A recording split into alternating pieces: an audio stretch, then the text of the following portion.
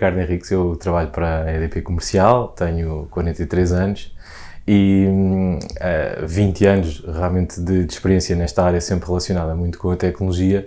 mas mais concretamente nos últimos, diria, 6 anos, uh, eu tenho estado, sobretudo, um, a procurar encontrar uh, formas de transformar a operação e, e, a forma como nós um, executamos o nosso negócio com uh, abordagens completamente diferentes, que muitas delas acabam por recorrer a, a, ao digital. Portanto, isto tem muito a ver com a forma como nós, por um lado, percebemos uh, o, nosso, nosso, o nosso próprio negócio, né? porque uma coisa é nós pensarmos uh, o nosso negócio e achamos que ele é efetivamente executado de uma determinada forma, ou que ele está a acontecer no dia a dia, uh, numa loja, no contact center, de uma determinada forma, uh, e na verdade nós temos aí algum enviesamento, porque muitas vezes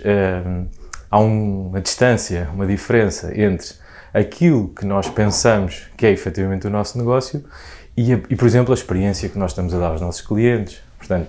e é muito a essa área que eu, que eu tenho, tenho dedicado e também, sobretudo, às uh, novas formas do trabalho. Portanto, tudo o que tem a ver com a, a introdução de mecanismos e, e, ferramentas que permitem, no dia a dia das pessoas, uh, deixar que essas pessoas deixem de ser robôs. Ou seja, essas pessoas tipicamente,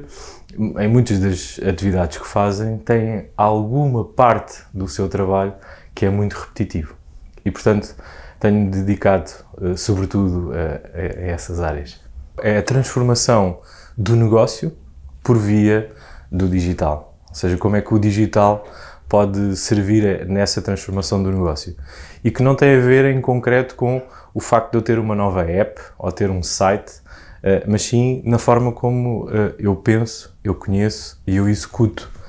o, o, meu negócio. E é, é muito a esse nível que, que, estamos efetivamente a trabalhar na transformação do negócio, recorrendo muito ao, ao, ao digital e, sobretudo, porque a tecnologia evoluiu tanto eh, que hoje em dia uh, permite-nos muito fazer esse, esse, esse, caminho e de uma forma rápida, né? porque a própria tecnologia tem vindo a, a ter aqui um, uma evolução muito interessante que é, muitas vezes, no passado nós deparávamos com esta tecnologia é interessante, mas para pessoas que estão do lado do negócio é difícil. E o que nós começamos a ver é muita ergonomia digital, ou seja,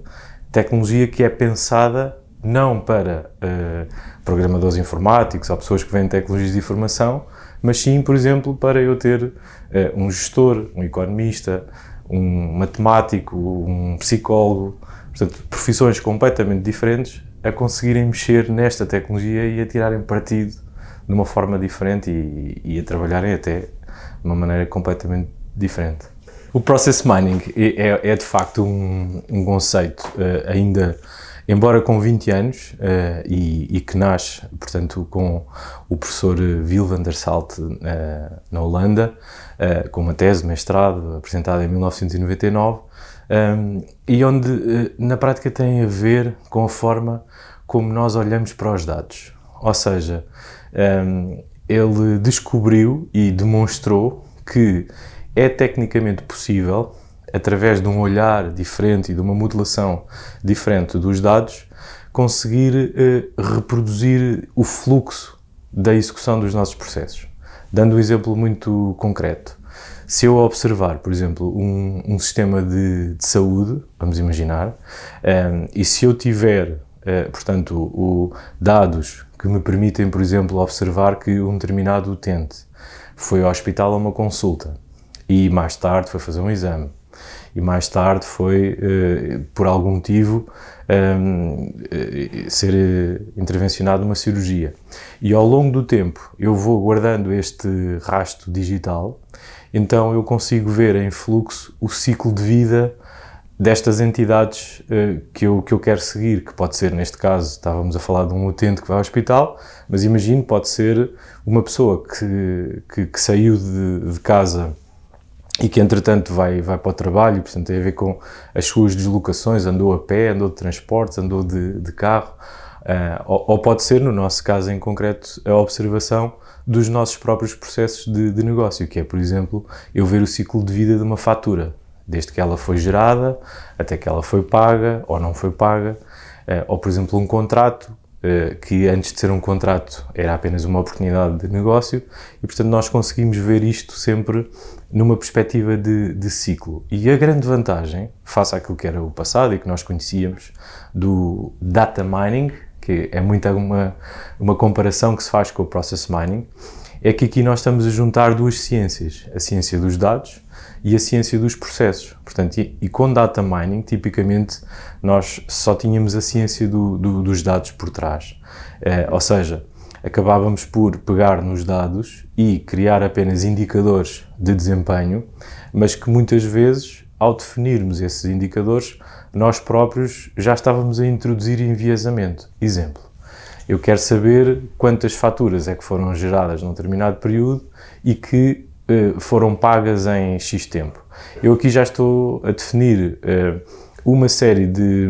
de critérios porque penso que as faturas são geradas uh, e são pagas num, num, determinado momento. A questão é que isto é, é aquilo que eu considero que acontece, só que há muitas variantes do processo, porque parte dessas faturas entram em anomalia, algumas nem sequer chegam a ser geradas, e, e portanto é, é, toda essa observação que nós conseguimos fazer com Process Mining, é, que tem também componentes de Data Mining, como é óbvio, mas numa perspectiva mais de processo. Eu, eu, eu posso dar exemplos de, de, computação à escala, ou seja, uh, nós uh, fazemos essa, essa observação uh, tendo em conta que temos um universo grande de clientes, mas eu posso dar outro exemplo que é um, um exemplo até de, do domínio público, que é, por exemplo, pegar um, num dataset público e anonimizado de um, pacientes, digamos, da Coreia do Sul que entretanto fizeram todo o ciclo de registro desde que foi, digamos, identificado o sintoma de infecção Covid-19, depois teste e depois alta hospitalar ou uh, falecimento. Um, e portanto, nós aí o que conseguimos uh, fazer é essa computação toda de forma completamente agregada e então ver os, o, os tais caminhos uh, e as tais variantes, porque Tipicamente, o, o, que nós sabemos é que, de facto, as pessoas têm sintomas, uh, depois testam e depois têm uma alta hospitalar ou há um processo de falecimento, mas isto é, digamos, o chamado epipath, ou seja, é o caminho mais comum. Aliás, é o caminho que nós chegamos ao pé de um, um humano e ele tem muita facilidade de explicar. O que é que ele tem mais dificuldade de explicar? É, é por exemplo, quando nós temos parte desse dataset em que uh, algumas pessoas, por exemplo, um, tiveram que repetir várias vezes o teste. Uh, entretanto, tiveram alta hospitalar, mas por algum motivo tiveram que voltar uh, novamente uh, a, um, uma, a um evento anterior. portanto, há, há, muitas, há muitas variantes que, que acontecem,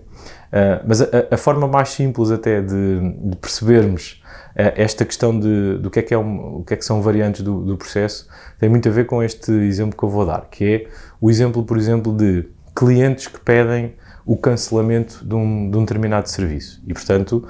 o, o, fornecedor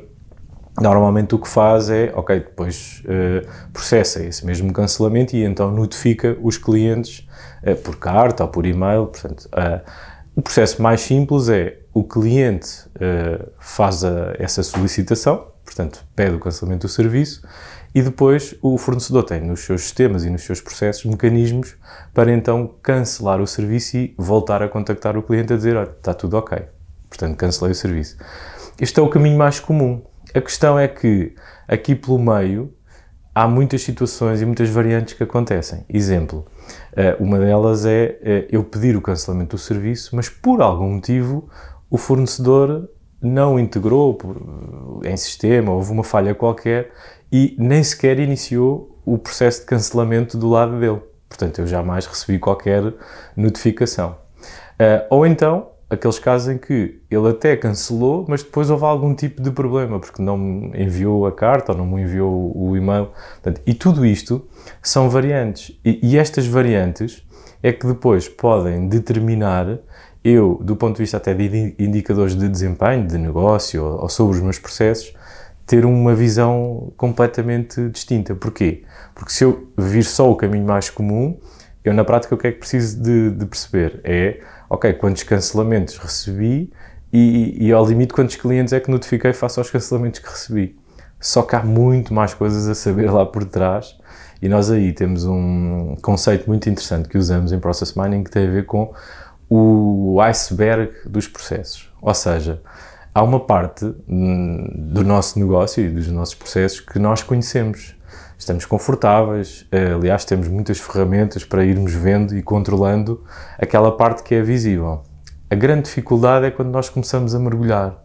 E quando nós estamos ali já a 2, 3 metros de profundidade, nós aí começamos a, a ver que o, o iceberg tem expressão, há coisas que acontecem ali e começamos a sair da zona de conforto do nosso conhecimento. Eh, e já não falo daquilo que vem do fundo desse mesmo iceberg e que muitas vezes este process mining eh, nos traz. Aliás, porque aqui estamos a falar também, e esse é um aspecto e é um desafio humano, eh, de tecnologia sugestiva. Ou seja, não estamos tanto a falar de tecnologia que nos permita a nós, humanos, configurar uma série de, de indicadores de desempenho, estamos a falar de tecnologia que pega nos dados que nós lhe damos e essa própria tecnologia faz-nos um conjunto de sugestões um, que uh, nos conduzem a, a, então tentar perceber o que é que se está a passar efetivamente com o nosso negócio. O que é um grande desafio, não é? Ou seja, todos, todos os CRMs e BIs que andam aí, toca lá reescrever isto tudo, porque afinal está tudo mal. Exatamente. Não, e esse é um aspecto muito interessante que é, então quando nós olhamos, portanto, e aí é bastante interessante porque tanto temos, uh, por exemplo, sistemas mais out of the box, ou seja, um, ehm, mais uh, herméticos do ponto de vista de desenho funcional, ou seja, que já prevêem uh, que o processo se execute de uma determinada forma e, portanto, com um grau de, de customização baixo. esses aí, em princípio, quando nós os vamos observar, deviam ter um, um, desenho de fluxo relativamente linear. A questão é que há dois grandes fatores que uh, determinam uh, essa, essa variância, que é o grau de customização que nós introduzimos nesses sistemas, portanto, que é as particularidades todas de cada negócio e de cada empresa, e por outro lado também os graus de liberdade que nós às vezes queremos dar aos utilizadores, porque os utilizadores têm um grau de criatividade muito grande. E, portanto, é um pouco aquele balanço entre ser demasiado restritivo uh, na operação de, de, um determinado sistema um, ehm, versus uh, alguma liberdade que depois se pode pagar com, com complexidade que, que estamos a, a, gerar em sistemas. Bom, eu, eu creio que aí uh, há que estabelecer um bom balanço, porque às vezes a criatividade humana também é muito benéfica. Eu dou um exemplo concreto que se observa também com Process Mining. Eh, por exemplo, nós com técnicas de process mining conseguimos perceber também quando uma determinada atividade está a ser executada por um robô, por exemplo, e aqui já agora, só para desmistificar a questão do o que é um robô, um, ehm, estamos a falar de software que mimetiza comportamento humano. Portanto, anteriormente era uma tarefa manual que alguém estava, digamos, no seu desktop uh, a desempenhar através da navegação com o seu rato em várias telas e, portanto, a introduzir uh, informação através do, do, seu teclado. Aqui o que estamos a, a dizer é que há software que mimetiza esse tipo de interação, portanto, com os sistemas operacionais. E, portanto, o, o Robotic Process Automation, portanto, o RPA, é muito nessa linha. Mas, e aqui estou a fazer um pouco o paralelismo entre Process Mining e Process Automation, porque, por exemplo, nós com Process Mining também identificamos, eh, como é óbvio, atividades eh, que podem eh, ter propensão a serem automatizadas, mas também identificamos o contrário. E isto, neste momento, não existem ainda muitos casos a, a serem, digamos, levados de, deste ponto de vista, mas um, que tem a ver com o seguinte, que é tirar a conclusão que, por vezes, em determinada atividade faz sentido reverter uma ação que era automatizada e executada por um robô voltar a ser feita por um humano. E eu vou dar um exemplo concreto disto, que é, um, por exemplo, nós com Process Mining conseguimos ver uh, um processo a ser executado uh, de forma linear e, portanto, sem repetições, mas às vezes temos situações, por exemplo, quando estamos a falar de um agendamento. Um agendamento é, é algo que, que é uma atividade que tanto pode acontecer uma vez como pode acontecer com repetição, duas, três, quatro vezes. E neste tipo de atividades que se repetem, por vezes nós podemos observar que a primeira vez pode ser feita por um robô, mas uma segunda ou uma terceira já deve ser feita por um humano. Porquê? Porque entretanto há ali um grau eh, qualquer adicional de complexidade que o humano pode intervir eh, de uma forma complementar à, à, à tal eh, máquina, mas com muito mais sucesso do que um, se esse momento estivesse automatizado. E nós com Process Mining também conseguimos ver essas coisas. uh, eu aí vejo que é uma grande oportunidade para a Europa. Ou seja, um, e em matéria de dados, já agora fazendo um, um, paralelismo muito simples, o que é que nós observamos? Na Europa e com o RGPD, eh, portanto, tipicamente nós tentamos proteger um, o, o, os dados e reservá-los a, a, cada indivíduo, portanto, é muito esse o, o conceito da, da individualidade. Um, nos Estados Unidos a realidade é diferente e, portanto, esses dados uh, ao limite pertencem às empresas e ao, ao Oriente, na China, esses dados pertencem ao governo. Portanto, nós temos aqui o indivíduo, as empresas e o governo, um, e aí o que eu vejo é que um, a Europa uh, pode, e aliás está a fazer um caminho nesse sentido, que é uh, passar uh, e dar um sinal ao mundo de ser uh, um Digital Trust Leader. Ou seja, um, porque a questão do, do, do digital, que, que aliás é uma revolução que está a acontecer, mas que está agora ainda no início do, do seu caminho. É óbvio que eh, introduz muita aceleração e vai ser muito disruptiva para, para a sociedade, mas a, a médio uh, longo prazo uh, tem que ser pensada de uma forma ela própria também uh, sustentável. E, e, portanto eu aí eu considero que a Europa está a olhar para a sua própria realidade e a tentar constituir um ativo que porventura os seus uh, concorrentes ou, ou, competidores diretos uh, não estão e, e, basta ver como é que, um, eh, por exemplo, na China uh, essa questão dos dados é, é elevada ou, ou mesmo no, no, no, caso dos Estados Unidos. Portanto, eu aí um, vejo que de facto um, há que estabelecer sempre o, o tal equilíbrio, porque hum,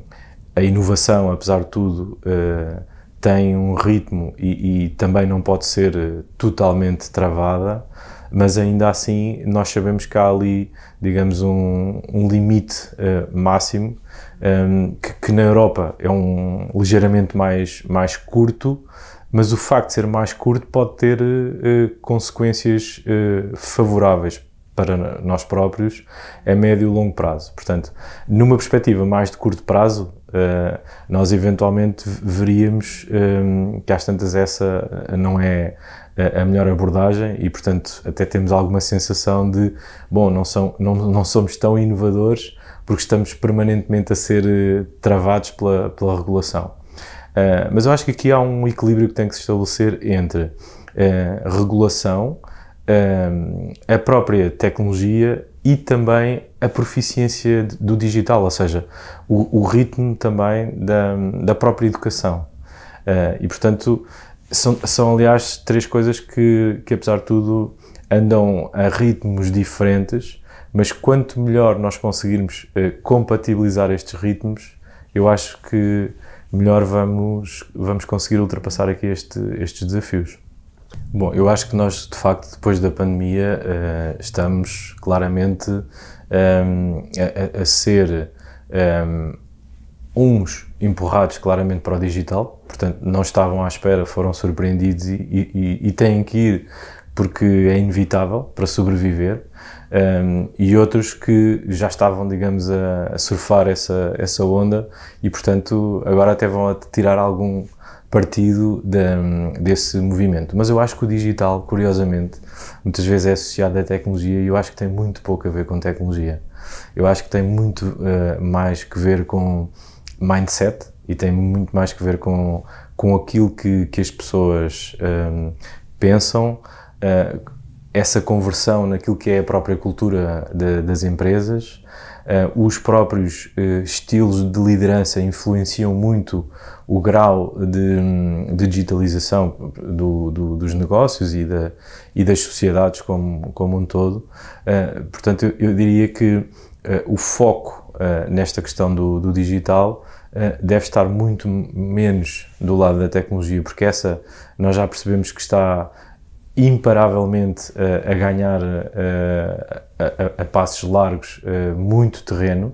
e, portanto, eu, eu, diria que o grande desafio está mesmo é em, em percebermos como é que do lado das pessoas elas também se preparam ou, ou, elas próprias olham para o, para o digital. E há um, um, facto muito curioso nesta matéria de pessoas que tem a ver com um, muitos uh, adolescentes que hoje em dia entre os 7 e os 17 anos vão com um, uma preparação quando um dia entrarem numa faculdade e que não tem que ser uma, facu uma faculdade de tecnologia, mas que, imagine, aos 12 anos sabem SQL, aos 14 anos estão a programar em Java, portanto, e essas pessoas podem ir, e aliás, esse, esses adolescentes de hoje, um dia vão tirar um curso de, de Direito ou de Economia, porque o que está ali em causa não é tanto a, a questão deles virem a ser programadores informáticos, mas sim com uma competência uh, que, que é um pouco como nós aprendermos a, a tocar um instrumento. Uh, e, e, isso está a acontecer. E, e, e, essa eu diria que é também um, um pouco a preocupação que, que, que tenho e que, e que se vai vendo, que é de facto depois este gap que existe entre essas pessoas que estão a ter hoje essa experiência e aquilo que lhes vai acontecer uh, daqui a poucos anos quando entrarem numa faculdade e perceberem que estão num, num, numa realidade e, num contexto uh, que, que, que, está desalinhado, não é? Uh, nós, nós em Portugal, para ter uma ideia, uh, por ano devemos estar a formar, não chegará, não chegará a 100 uh, cientistas de dados. E, portanto, isto, tendo em conta que uma em cada cinco empresas tem um grau de digitalização elevado, acho que é um, um bom sinónimo de, do caminho que nós temos para, para fazer. eu creio que eu creio que sim, mas mas para que isso aconteça e uma das melhores formas de nós aprendermos a falar uma nova língua é deslocarmos para uh, um ambiente onde só se fale e só se tenha essa experiência. Portanto, a partir do momento em que nós passamos por essa experiência, é muito mais fácil aprender uma língua do que propriamente à distância tentar eh, passar por esse processo de aprendizagem. E o que é que eu quero dizer com isto? É que, por exemplo, a questão do trabalho remoto, que era um canon uh, anteriormente à pandemia, em que muitas empresas nem sequer estavam preparadas nesse sentido, e eu acredito que também muitos líderes de, de empresas tinham uh, reservas relativamente a essa matéria. Depois de, de, todos nós termos que passar por uh, esta experiência que, que, tivemos, inclusivamente desses próprios líderes, uh, acho que é, é um no-brainer, é? ou seja, uh, são, são padrões que, que, que, têm, têm claramente mudado e por um motivo muito simples, é que nós agora vamos observando essa questão, por exemplo, da produtividade e do trabalho e a questão é que o resultado continua a aparecer. Portanto, independentemente de nós termos a pessoa a trabalhar em casa, no escritório, é óbvio que o trabalho remoto tem, tem aqui outras, outros desafios, mas é apenas um exemplo uh, entre muitos que, que, realmente faz todo sentido nós um, repensarmos. E, e, em matéria de educação, o que eu penso, e vamos vendo alguns bons sinais nesse sentido, é que é, é preciso realmente também nós repensarmos uh, a forma como educamos as novas gerações, porque um, ehm, aquele método mais uh, tradicional de um, ehm, muito baseado só na aprendizagem uh, de um conjunto de conteúdos que muitas das vezes os alunos assimilam temporariamente e passado alguns anos perderam porque entretanto essa, essa memória apagou comparativamente com algumas escolas que nós agora vamos vendo que ensinam a aprender é algo completamente diferente. E isso nota-se quando? Nota-se quando essas pessoas depois chegam às empresas, porque tornam-se claramente um, um, top performers. E, portanto, porquê? Porque é, é, simples, são pessoas que estão com uma predisposição natural para aprender coisas novas e, e, e portanto, têm uma capacidade adaptativa. Uh, e eu creio que aí Portugal tem uma, uh, um, um, ativo e, e, tem, e pode efetivamente uh, dar, dar passos uh, largos nesse sentido, temos, temos que nos, nos focar uh, e eventualmente afastar-nos um bocadinho de, de, algumas abordagens mais tradicionais, ou seja, reavaliar. eu sou um grande fã do ZX Spectrum, não é? mas se um dos meus filhos gostasse de ser informático, um, eu é óbvio que lhes iria falar do, do BASIC mas hoje em dia, às tantas, ele já podia começar o, o caminho de, de, uma outra forma. Portanto, eu creio que em matéria de educação nós ainda também temos um, algum, algum desfoque uh, na, na, na, aprendizagem e, e, e, os alunos acabam, por vezes, por, uh, até em matéria de tecnologia, estar a, a, perder imenso tempo em áreas que não têm assim tanto valor, perdendo a janela de oportunidade até para explorar outras áreas novas que existem, que as empresas procuram e que eles nem sequer exploraram. E eu já passei por essa experiência, não só quando entrevisto a maior parte do, dos estagiários e percebo que aquilo que nós fazemos eles nunca ouviram falar,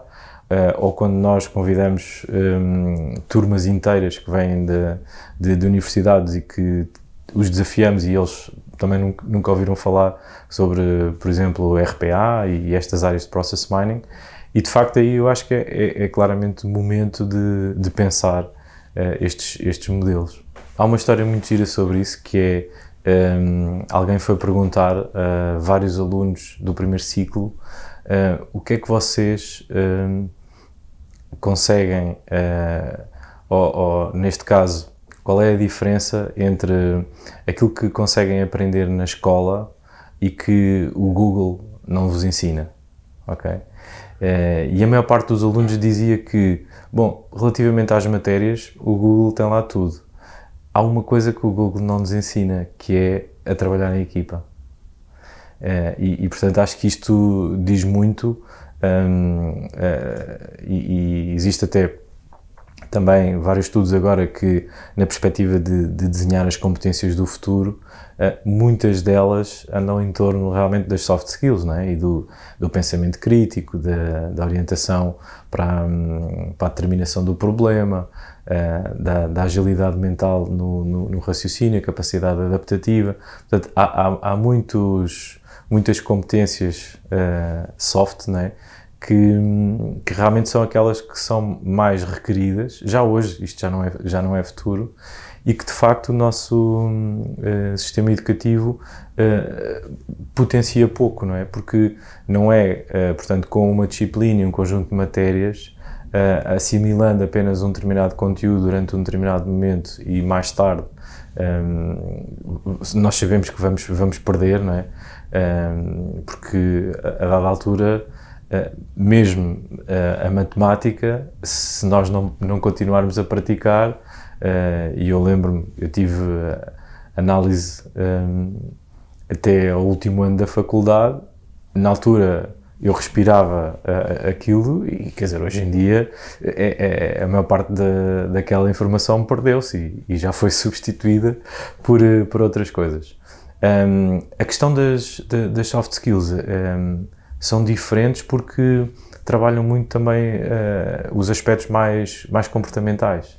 E, e, aí eu, aliás, tenho uma frase que, que, normalmente uso muito, mas mais do que usar a frase é, é mesmo praticar, que é, mesmo nós quando estamos a contratar alguém para uma empresa, uh, sabemos que temos aquela função e aquela vaga,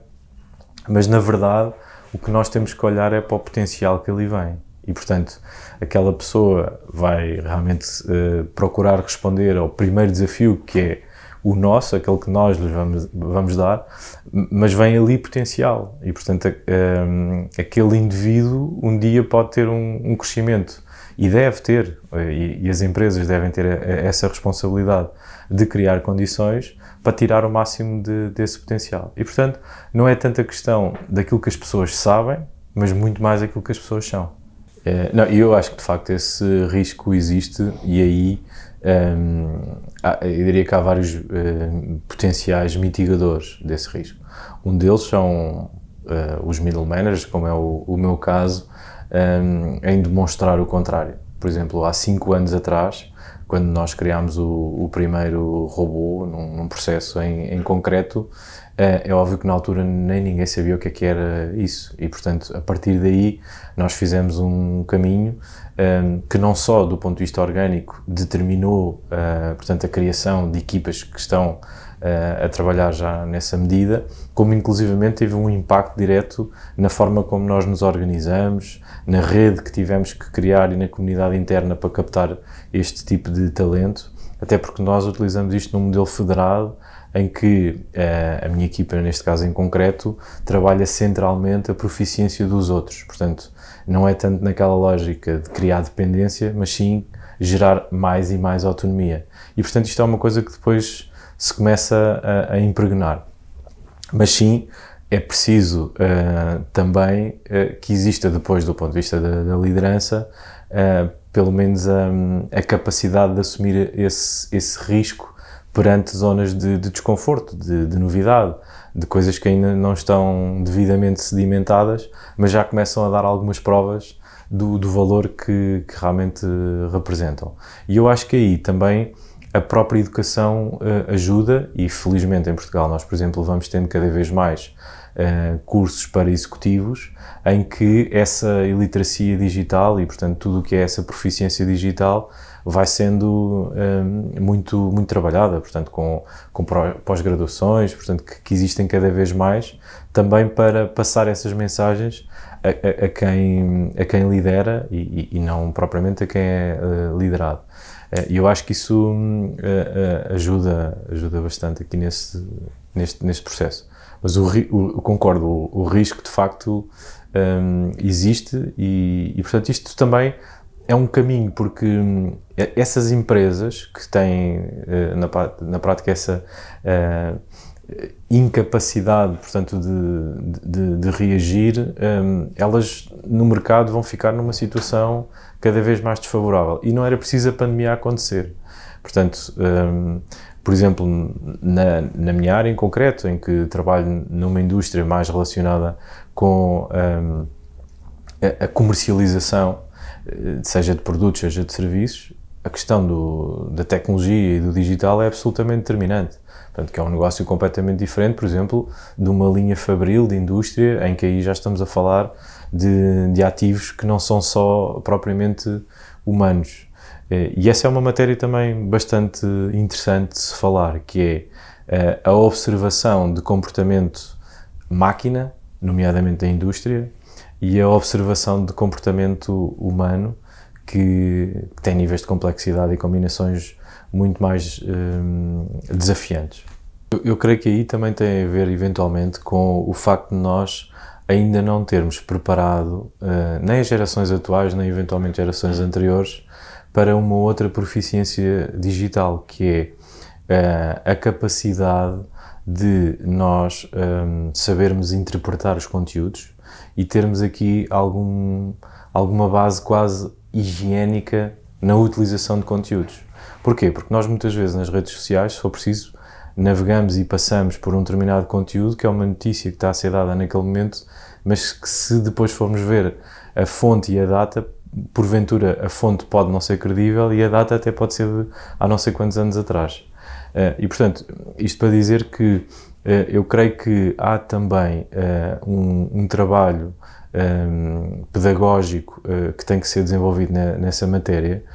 porque há um, há um, fenómeno que é natural, que é, uh, hoje em dia, nós termos mais o domínio dos conteúdos que nós queremos ver. Isso é notório na, naquilo que são os, os mídias uh,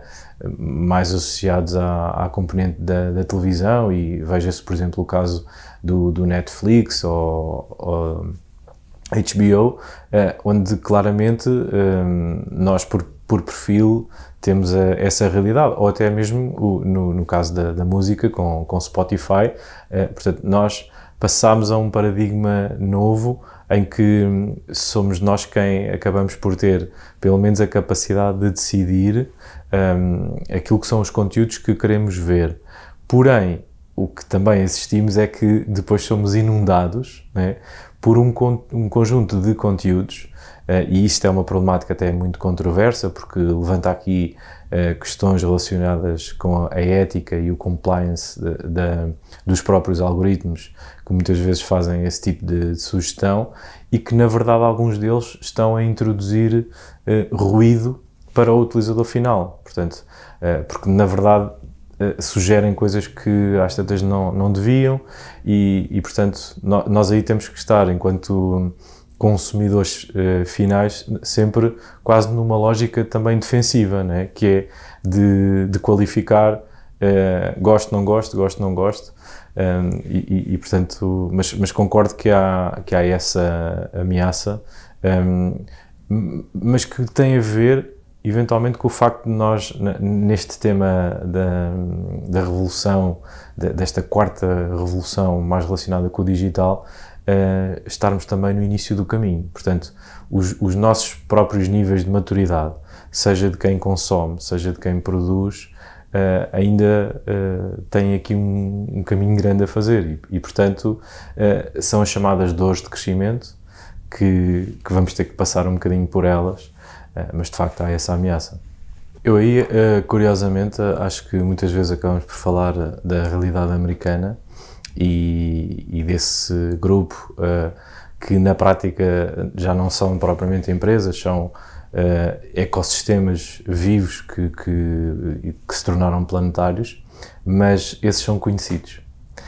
A questão e o grande desafio que nós temos é os que nós não conhecemos e esses não estão nos Estados Unidos.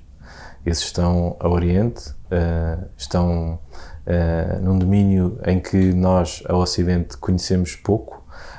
já têm, digamos, uh, níveis de sofisticação até uh, bastante superiores em matéria de, de, inteligência artificial. Por exemplo, a China tem uma capacidade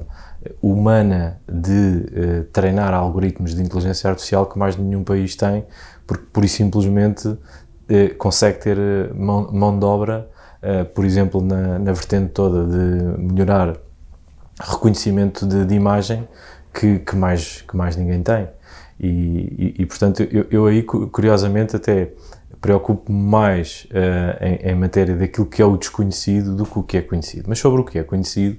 eu aí tenho uma visão um pouco diferente. E não sei se são as leis antitrust que vão resolver ou se são outras duas ações que eventualmente podem ser aqui um pouco mais um, ehm, consequentes um, ehm, favoravelmente para a Europa, que é um deles é um, repensar também um, como é que a América fez esse caminho e produziu esses ecossistemas, porque nós sabemos que eles vêm muito de uma realidade económica. E, portanto, o que nós temos que repensar é: bom, vamos continuar apenas uh, neste caminho protecionista ou vamos nós próprios na, na Europa ter uma, uma atitude de tentar um, que apareçam também na Europa é, é ecossistemas destes, tendo em conta que não nos falta hum, uh, proficiência e conhecimento uh, na, na, academia, portanto, para, para o fazer. Agora, o modelo uh, económico da, da, Europa é que é ao mesmo tempo castrador desse ponto de vista. E aí até há um fenómeno muito interessante, que é, nos últimos anos, quem assiste mais à, à, à questão do volume de startups que são criadas na Europa versus Estados Unidos, a Europa tem tido anos em que até eh, consegue gerar mais startups do que os Estados Unidos. Só que os Estados Unidos têm uma capacidade de gerar mais scale-ups do que startups do que a Europa. E, portanto, e isso, mais uma vez, tem tudo eh, a ver muito com uh, o, o, próprio modelo económico que está depois por detrás dessa, dessa realidade. Por outro lado, algumas de, dessas grandes empresas americanas um, enquanto nós podemos, é óbvio, que olhar sempre para a vertente da ameaça, mas o que é um facto é que elas hoje disponibilizam tecnologia que nos permite tirar imenso partido. Por exemplo, Portugal, neste momento, nomeadamente na área das pescas, poderia estar a tirar partido de tecnologia que tanto a Google como a Microsoft têm um, para se tornar muitíssimo mais eficiente uh, ao nível de, de, tudo o que se faz uh, nesse, nesse setor. Porquê? Porque esses uh, gigantes tecnológicos passaram a disponibilizar, tal como nós utilizamos, por exemplo, um, um Google Maps, um, existe N informação super interessante em matéria da forma como um, o próprio uh, peixe se vai deslocando uh, no, nos mares, portanto, aquilo que são o, os, os, padrões do, dos próprios cardumes, que dão muito mais assertividade à forma como nós podemos uh, mobilizar toda uma, uma, uma frota pescatória. e isto é apenas um exemplo que eu estou a dizer, porque se nós formos, por exemplo, para, para, para as florestas, existe também, e, eu estou a falar de tecnologia eh, completamente gratuita que está disponível e que qualquer um de nós pode usar. Portanto, não, não estamos a falar aqui de um, ehm, projetos megalómanos com grandes investimentos. Portanto, estamos a falar de tecnologia que está disponível, tecnologia que consegue, por exemplo, observar um, ehm, em determinadas regiões do, do mundo, e nem todas as cidades já o têm, mas, por exemplo, calcular a quantidade de telhados que existe numa determinada cidade para perceber qual é que é o potencial solar instalado naquela, naquela cidade. E, e portanto, uh, isto só para dizer que há, há realmente dois lados um, ehm, e, e, há de facto uh, essa ameaça e nós sabemos que estes grandes ecossistemas, apesar de tudo, têm uh, muito a questão do domínio da, da, publicidade e esse é o grande negócio inicial e agora começam-se a posicionar a, a outros níveis, mas também há aqui um outro um, um, outros componentes que podiam ser muitíssimo mais explorados, sobretudo até por países como nós, que temos muita dificuldade a chegar lá e, e, acabamos, acabamos por muitas vezes não tirar eh, partido ou até nem ter eh, conhecimento. Eu creio que aí nós até podemos falar, digamos, daquilo que é o movimento que está a acontecer na Europa, uh, da, das chamadas uh, Twin Transitions, ou seja, da ligação que existe entre a transição digital e a transição energética. De facto, eu aí sou um privilegiado por estar, digamos, a trabalhar num setor eh, que, e, e, numa empresa onde pretendemos liderar eh, essa transição energética, mas ao mesmo tempo, eh, por inerência de, das funções e daquilo que é o meu percurso, ehm, na, na vertente digital, que depois também está associada. Mas, ehm, de facto, há aqui eh, muitas sinergias e mais uma vez, eu, eu creio que na, na Europa nós uh, podemos ter eh, uma palavra a dizer perante o mundo, porque de facto aí fomos nos posicionando em matéria de energias renováveis de uma forma mais, mais consistente Uh, e, e, portanto, no domínio do próprio conhecimento daquilo que, que está na, na, origem da maior parte da, dessas, dessas fontes renováveis, e agora há também muito, para além da questão do solar e do eólico, a discussão sobre o, o tema do, do, do, hidrogênio, mas isto só para dizer que uma economia uh, maioritariamente descarbonizada é uma economia uh, altamente potenciadora eh, inclusivamente de, de fatores competitivos e, e até geradora de, de, emprego. Portanto, nós estamos a falar aqui uh, de, nesta transição energética, de podermos ter a oportunidade de criar uh, muito mais uh, janelas de oportunidade de novas empresas, startups e, portanto, uma, uma economia em que vamos claramente injetar muito mais emprego. E, ao mesmo tempo, começamos a, a detectar nesta questão toda, portanto, da sustentabilidade, uma oportunidade também para a Europa de ser cada vez mais um exemplo naquilo que é a própria economia circular. E, nós aqui também temos uh, vindo a dar uh, passos, passos largos. O digital uh, ajuda muito nomeadamente tudo o que são essas plataformas mais de, de crowdsourcing, crowdfunding, tudo o que tem a ver mais com, com crowds e que podem ser, digamos aqui, enablers de, de, de, exemplos de, economia circular. Um, e, portanto, eu, eu diria que temos aqui várias uh, tendências e, e, e, várias iniciativas que estão a acontecer num movimento que é, é, é europeu e a Comissão Europeia, uh, eu creio que está muito empenhada nesse sentido porque vê aí uma oportunidade de, de, de proteger a própria economia europeia e distinguir-se eh, porque o que é um facto, e nós já tínhamos falado sobre isso, é que dentro em breve um, os líderes digitais vão ter uh, um conjunto de características e a questão depois é, é, que vai começar a acontecer é em quem é que nós confiamos. É, e aliás, aí há índices de sustentabilidade já bastante interessantes. Aliás, há fundos de investimento em que um, eh, as pessoas vão eh, aplicando o seu dinheiro já nessa perspectiva, uh, em que um, aplicam os seus investimentos em função de perceberem se aquelas empresas uh, têm um grau maior ou menor de, de, de sustentabilidade. Um, esta questão toda da, da, descarbonização e estes projetos um, que acabam por estar muito relacionados com, com eficiência energética têm uma outra um, componente bastante interessante porque uh, geram muitas relações de, de win-win, ou seja, em que na prática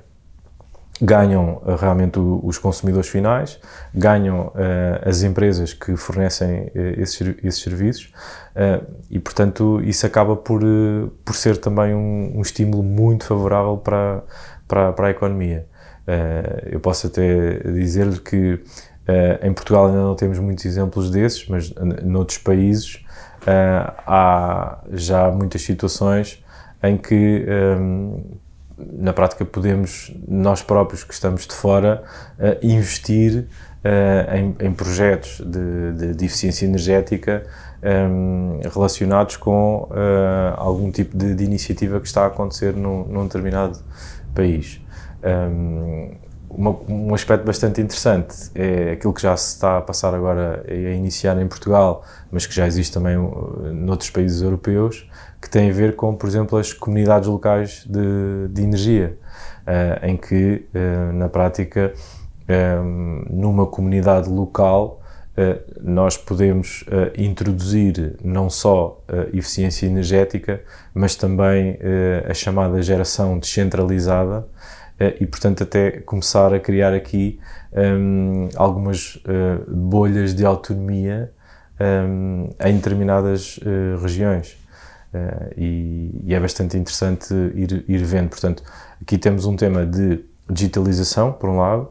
descarbonização, por outro, mas também de, de descentralização da forma como a, a própria energia uh, é, é, é, gerada. Porque a cadeia de valor e, e aquilo que eram os cânones mais antigos uh, eram diferentes, é? portanto, nós tínhamos, sobretudo, geração de energia centralizada. E, portanto, o caminho que se está a fazer é, é realmente para, para a descentralização. É, aí é, só, é não só uma, uma responsabilidade muito associada até àquilo que são os, os próprios comportamentos, porque mesmo relativamente a esta questão da, das alterações climáticas, há, há muito aquela sensação de que, ok, nós temos um problema, mas até que ponto é que nós efetivamente no nosso dia a dia contribuímos para resolver esse, esse problema. E, portanto, essa consciência um, está mais do que demonstrado que existe, mas há uma diferença entre ter consciência e agir. E, portanto, aí claramente hum, as empresas e o setor em si da, da energia têm essa responsabilidade adicional que é de garantir para além da componente da consciência que de facto um, há ação se bem que nós também sabemos que essa ação muitas vezes tem a ver com o poder de compra. Não vale a pena uh, irmos, uh, portanto, por outro tipo de, de fenómenos e, e, nós sabemos, aliás, há, há estudos um, ehm, que por vezes revelam que numa determinada região um, ehm, há uma propensão ou predisposição muito maior à instalação, por exemplo, de, de soluções de eficiência energética, mas depois vai-se a estudar em profundidade e o que acontece é que ali há poder económico para, para, para investir. Um, agora, um, eu creio que uh, esta questão toda uh, relacionada com, com a sustentabilidade um, é, é algo que, que, de facto é muito influenciado pelo digital. Por exemplo, essa questão toda da quantidade de data centers que nós precisaríamos, e aliás, esse é um dos problemas neste momento uh, aplicado à escala uh, e que tem muito que ver com a, a própria questão do, do, do blockchain, um, em que nem sequer existiam neste momento uh, recursos suficientes para termos uma, uma resposta eh, portanto, que fosse suficiente para aquilo que, é, que são as exigências da, da nossa sociedade atual. Um, mas aí observa-se um, um, aspecto bastante interessante que é a preocupação de muitas dessas empresas que vão criando, por exemplo, esses data centers, dar-lhes o máximo de eficiência e, se for preciso, até torná-los completamente autónomos. Aliás, a própria Tesla é um bom, um bom exemplo uh, disso, mas há, mas há vários até fora, digamos, do setor. Temos o caso do, do próprio IKEA, quer dizer, há, há, há vários, há vários exemplos uh, em que uh, as, as próprias empresas se procuram um, quase autonomizar da, da rede, portanto, com, com níveis de eficiência máximo. e eu creio que quando nós um dia olharmos para, para o tal uh, Digital Trusted Leader, uh, o que é que uh, vamos o que é que vamos observar? Vamos observar economias em que as empresas fizeram realmente este caminho do digital, mas muito associado à descarbonização, ou então esse exemplo que, que estávamos a falar, que é um, e eu creio que neste momento o fenómeno se começa a inverter bastante, mas em que na China a, criação de, de, centra, de, centrais termoelétricas uh, teve períodos fulminantes de, de, produção de mais e mais um, centrais uh, desse nível. Portanto, ser digital introduzindo pegada carbónica não é propriamente a solução a médio e longo prazo mais, mais favorável para, para a sociedade e, portanto, temos que tentar eh, ver de que forma é que estas coisas depois se, se encaixam. Sim, relativamente àquilo que é o nosso, a realidade do nosso tecido empresarial, eh, eu creio que agora, mais recentemente, vêem-se várias linhas e iniciativas eh, do, do governo atual nesse sentido. Portanto, há, há vários programas que vão procurar uh, aumentar aqui os graus de proficiência digital e, e tentar desenvolver este tipo de, de novas competências. a questão é, esse é um, é um caminho, é apenas uma, uma componente, mas eventualmente não é, não é suficiente. Um, por outro lado, tudo o que tem a ver mais com, com startups e, e empresas novas que estão a surgir, Uh, aí a questão das, das boas práticas ou, ou, de recomendações logo à, à, cabeça podem ajudar imenso, porque de facto hoje em dia um, ehm, é, é quem cria uma, uma empresa nova tem muita tecnologia que fica logo disponível, uh, a questão depois é, é, tirar o melhor partido dela. E aliás, esse é um dos desafios dos tempos uh, atuais, que é face à chuva tecnológica que nós temos e a tanta oferta que, que existe, como é que nós realmente conseguimos tirar o melhor partido de cada uma eh, dessas tecnologias e como é que ela eh, ajuda realmente naquilo que é o propósito do, do nosso negócio. Um, ehm, e, e, portanto, aí um, ehm, eu creio que ajudaria também que algumas redes um, ehm, empresariais organizadas pelos vários uh, setores, uh, e eu aí sinto que nós em Portugal, apesar de tudo, temos menos predisposição à partilha um, entre até por vezes empresas que são, são concorrentes na mesma indústria, o que é uma pena porque acabamos por não, não ganhar muito com isso. Um, aliás, eu acabo por uh, muitas vezes uh, receber convites e participar em muitos fóruns internacionais onde se potencia exatamente esse tipo de, de, de partilha. Um, e, e, portanto, eu acho que esse é um, um desafio realmente que temos, uh, que é como é que realmente criamos a, a mobilização certa para, para, para, partilhar esse tipo de experiências uh, também,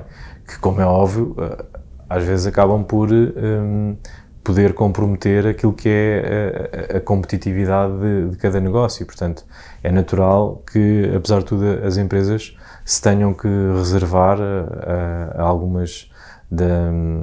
dessas, dessas informações. Mas ainda assim, para aquilo que é a economia como um todo, um, eu acho que nós precisamos realmente de, de desse efeito de, de, de mobilização, para, um, sobretudo para termos um tecido empresarial mais robusto e mais preparado, sobretudo para estes momentos atuais. E, às tantas nem, nem, falamos de eh, tecnologias muito sofisticadas. Por exemplo, só o facto das empresas estarem ou não preparadas para o trabalho remoto, que é uma coisa relativamente simples, eh, que agora é um desafio que, que estamos a, a ter e que, por exemplo, muitas dessas empresas não, não, não, estavam preparadas e acredito que algumas estão a ter, inclusivamente, dificuldade em, em, em fazê-lo. Aí temos uma, uma, uma boa notícia, não é? que é uh, a chamada bazuca, não é? Uh, que, que, se realmente criarmos uh, os mecanismos certos para introduzir a aceleração dessa captação de, de valor uh, e, e, de investimentos que, que podem vir da, da, da, comunidade europeia, eu acho que isso pode introduzir um, um, efeito de, de aceleração e, e, até de aumentarmos o nosso grau de maturidade na, mais ao nível das PMEs. Por tradição, o que nós assistimos no passado e espero que não aconteça agora e, e no futuro é que realmente não, não somos propriamente um exemplo na, na, boa utilização desses recursos que às vezes acabam por, por nos ser dados e, e, eu creio que agora é um momento bom para,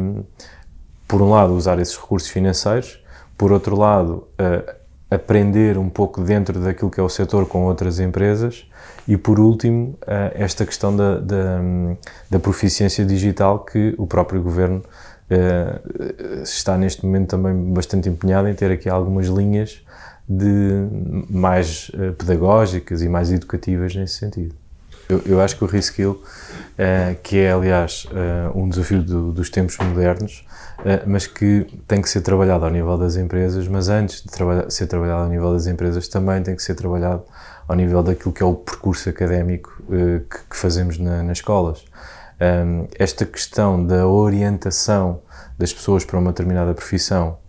é importante, nós sabemos que, que, sim, e há muitas profissões que no futuro continuarão a, a existir, mas também é importante abrirmos janelas de oportunidade para que eh, cada um de nós aumente o fator de empregabilidade. Uh, porque as pessoas têm muita tendência em valorizar o emprego e desvalorizar a empregabilidade. E portanto o que nós estamos aqui a falar é, tanto ao nível da escola e do percurso educativo, criar condições para que as pessoas aumentem os graus de empregabilidade, e depois dar continuidade na, nas empresas. E, e, nas empresas depois também temos uh, bons e maus exemplos, um, eh, mas eu diria que nas empresas tem muito que, que se trabalhar isso uh, a vários níveis, porque depois as empresas também acabam por ser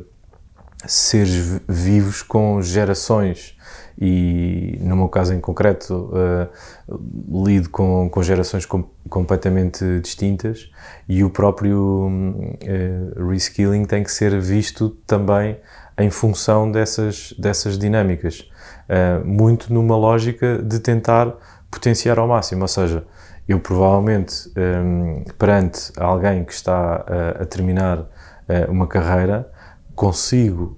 capturar imenso potencial fruto do conhecimento que aquela pessoa uh, detém, que pode ter uma menor predisposição para um, determinado tipo de, de fatores uh, tecnológicos, mas ainda assim pode ter uma motivação de ver o seu conhecimento aplicado àquilo que a tecnologia lhe dá agora.